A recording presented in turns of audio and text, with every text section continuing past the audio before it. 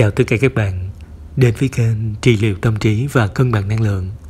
Quốc Anh cầu chúc mọi phước lành đến với tất cả chúng ta. Những câu chuyện chúng ta tự kể có sức mạnh.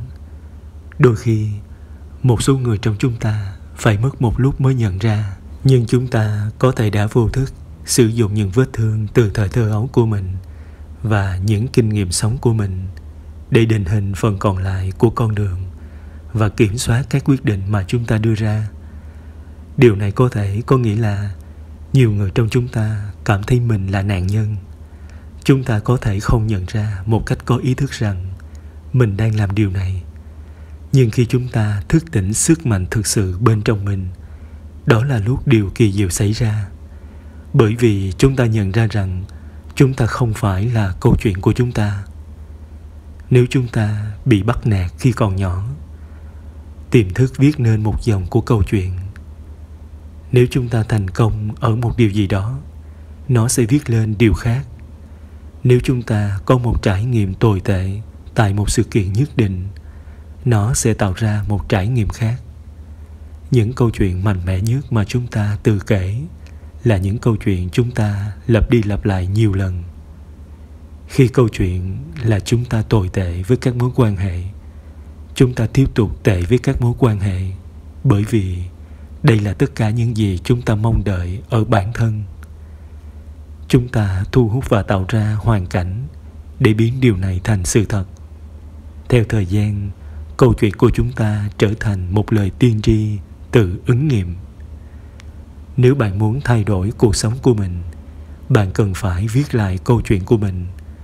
Câu chuyện cuộc đời của chúng ta chỉ có vậy một câu chuyện, nhưng sức mạnh của chúng ta nằm ở cách chúng ta chọn làm chủ và viết từng chương điều gì sẽ xảy ra nếu chúng ta bắt đầu nghĩ khác về các sự kiện trong cuộc sống của mình và sử dụng chúng như công cụ giúp chúng ta phát triển và phục vụ người khác? Thay vì lo lắng và tự hỏi, tại sao điều đó lại xảy ra với chúng ta? Có thể mà không nhận ra điều đó bạn đã cho phép mình trở thành nạn nhân của cuộc sống và nạn nhân của câu chuyện của chính mình. Nhiều người trong chúng ta có thể đã trải qua chấn thương hoặc giai đoạn khó khăn trong cuộc sống mà chúng ta chưa thể chữa lành hoặc đối mặt với nó.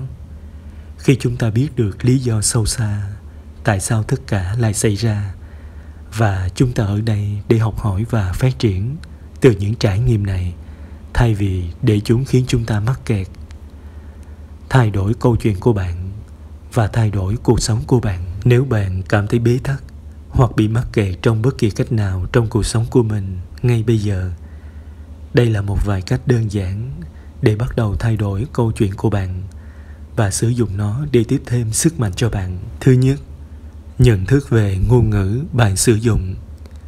Khi chúng ta bị mắc kẹt trong cách suy nghĩ tiêu cực về cuộc sống của mình, chúng ta đang nuôi dưỡng tiềm thức của mình bằng chính niềm tin tiêu cực, sẽ khiến câu chuyện chạy theo cùng một hướng.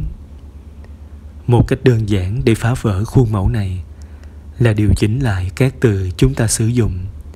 Ví dụ, thay vì nói rằng điều gì đó đã xảy ra với chúng ta chúng ta có thể bắt đầu nói rằng điều đó đã xảy ra cho chúng ta.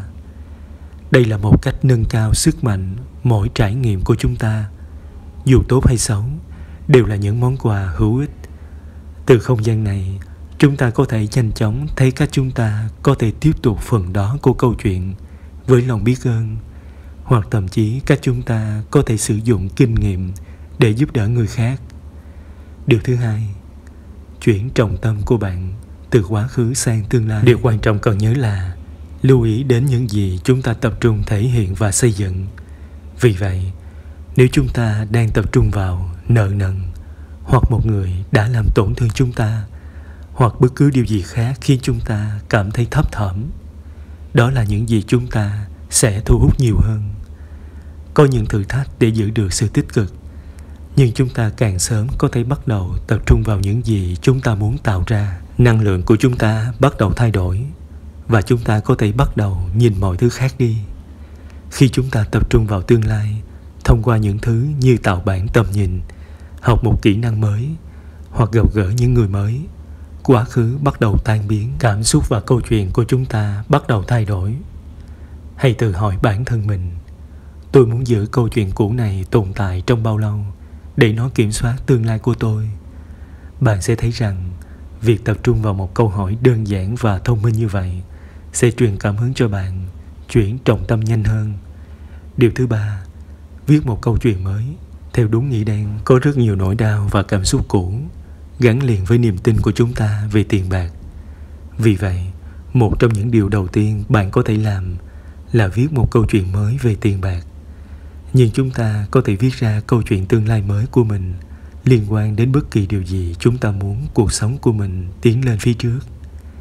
Điều này bắt đầu bằng cách viết ra theo nghĩa đen chúng ta muốn những ngày của mình trông như thế nào từ đầu đến cuối nơi chúng ta có thể sống, những gì chúng ta đang làm và xây dựng loại công việc chúng ta đang làm và những loại công việc chúng ta đang làm để giải trí.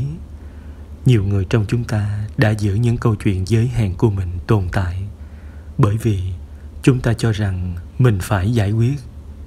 Viết ra một câu chuyện mới sẽ tạo ra động lực cho tương lai của chúng ta.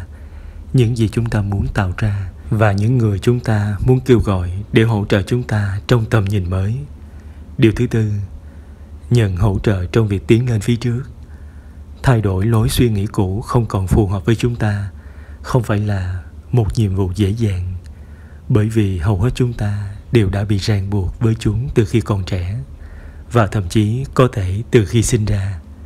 Vì vậy, điều quan trọng là phải có sự hỗ trợ và khuyến khích phù hợp khi chúng ta bắt tay vào công việc can đảm này đây có thể không phải là bạn bè hoặc gia đình khi chúng ta đang chữa lành, vết thương. Vì vậy, bạn có thể nên tìm kiếm một nhà trị liệu hoặc cố vấn để cộng hưởng và sử dụng trực giác của bạn để hướng dẫn bạn tìm đúng người có thể hỗ trợ bạn. Nếu bạn cảm thấy mình không thể thay đổi cuộc đời, chỉ cần thay đổi một dòng trong câu chuyện của bạn. Mỗi lần bạn cảm thấy không thoải mái, mỗi lần bạn phải đối mặt với những trở ngại và hạn chế của mình mỗi lần bạn gặp phải những vấn đề cũ lặp đi lặp lại, và bạn không vượt qua được. Đó là bởi vì bạn không viết lại bất kỳ dòng nào trong câu chuyện. Khi bạn thay đổi một dòng trong câu chuyện của mình, cả cuộc đời bạn sẽ vươn lên để đáp ứng nó. Tăng trưởng không phải là một điều cô lập. Khi chúng ta chọn thay đổi, đầu tư hoặc phát triển một phần trong cuộc sống của mình, nó sẽ có tác động. Vấn đề là khi bạn thay đổi một dòng trong câu chuyện của mình mọi thứ khác cũng sẽ được cải thiện.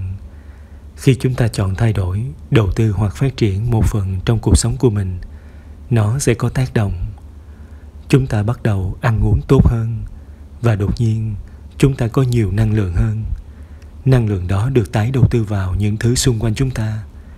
Đột nhiên chúng ta bắt đầu giữ cho không gian của mình sạch sẽ hơn một chút.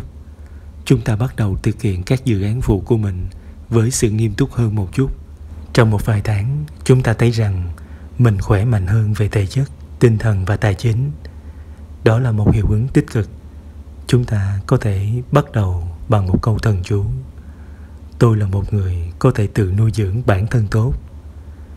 Có thể câu thần chú của bạn là bạn xứng đáng có một mối quan hệ mà bạn thực sự được chăm sóc. Có thể câu thần chú của bạn là bạn đã sẵn sàng để sống cuộc sống trong mơ của mình. Có thể câu thần chú của bạn là bạn sẽ được tự do về tài chính. Có thể câu thần chú của bạn là bạn sẵn sàng để bắt đầu lại. Có thể câu thần chú của bạn là bạn biết bạn đã làm những điều khó khăn trước đây. Vì vậy, bạn sẵn sàng làm bất cứ điều gì cần thiết để cuối cùng được hạnh phúc. Khi bạn thay đổi một dòng trong câu chuyện của mình, khi bạn thay đổi một điều trong cuộc đời mình, mọi thứ bên dưới nó sẽ cần phải được tăng lên hoặc được giải phóng câu chuyện của bạn sẽ bắt đầu phá vỡ chính nó. Một cái mới sẽ cần được sinh ra. Khi cuộc sống của chúng ta tiến về phía trước, chúng ta liên tục có những cơ hội mới để viết nên câu chuyện về con người của chúng ta. Đó không phải là một câu chuyện chúng ta kể cho người khác nghe, một câu chuyện chúng ta tự kể. Theo thời gian, chúng ta cho người khác thấy câu chuyện đó trong cuộc sống của chúng ta. Thông qua chủ đề của video lần này quốc anh hy vọng rằng đã mang đến cho tất cả các bạn nguồn năng lượng tích cực và những thông tin hữu ích. Các bạn có thể chia sẻ trải nghiệm và kinh nghiệm của các bạn bên dưới video. Đó là cách mà tất cả chúng ta cùng nhau cộng hưởng để làm cho cuộc sống trở nên tốt đẹp hơn. Ngoài ra, các bạn có thể kết nối trực tiếp với quốc anh qua fanpage và qua zalo mà quốc anh có đính kèm bên dưới mỗi video. Quốc anh chúc tất cả các bạn thật nhiều sức khỏe và may mắn chào tạm biệt và hẹn gặp lại.